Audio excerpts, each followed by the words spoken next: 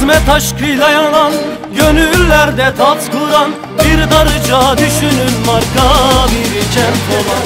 İçine sen birisin İnşaat mühendisi On dört mahalleden gelir Değişimin sesi. Mart'ın sonu bahar. Umudumuz senle var Güzel darıcamın Yakup Kök gibi başkanı var. Mart'ın sonu bahar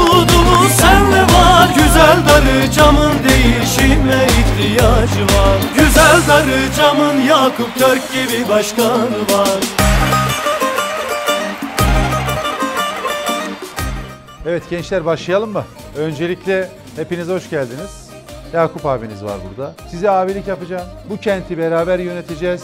Gencin adının olduğu Darıca için hep beraber el ele vereceğiz. Değişimi gerçekleştireceğiz. 31 Mart akşamı da kimseyi kırmadan, dökmeden sabaha kadar eğlenmek serbest.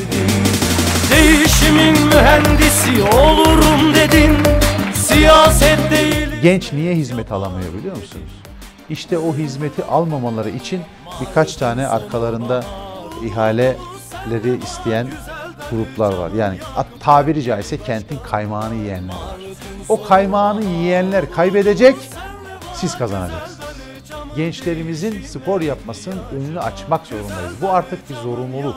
Yani bunu yapmayan belediye başkanı maalesef bu kenti işte şu anda içinde bulunduğumuz noktaya getirir.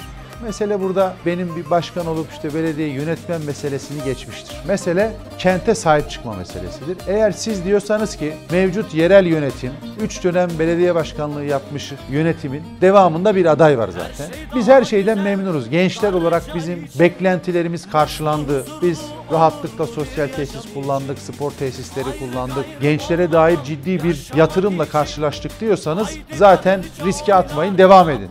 Çünkü bu zamana kadar yaptıkları 15 yıl boyunca ortada. Dolayısıyla ben diyorum ki gençlerin bu süreçte daha çok işe el atması, daha çok sahiplenmesi, hangi siyasi düşünceye daha önceden oy vermiş olursa olsun bu işi bir parti yarışı olarak değil, bu işi Darıca'nın geleceğine sahip çıkma anlayışı olarak görüp hepinizden kentinize, yaşadığınız Darıca'ya sahip çıkmanızı bekliyorum. E zaten mevcut devam ederse ne olacağını siz biliyorsunuz. Aynen devam edecek. Değişen bir şey olacağına inanıyor musun? Yani Darıca Gençler Birliği'nin kurtulacağına, spor tesislerinin yapılacağına, havuzların yapılacağına, kapalı spor salonlarının yapılacağına, amatör spor tesislerinin yapılacağına inanıyor musunuz biz olmaz? Yapılsaydı 15 yılda yapılırdı. Yani bitmiş olan işi garanti bir şekilde açık farkla bitiriyoruz. 31 Mart akşamı da Cumhuriyet Meydanı'nda hep beraber buluşuyoruz. Umudumuz senle var Güzel darıcamın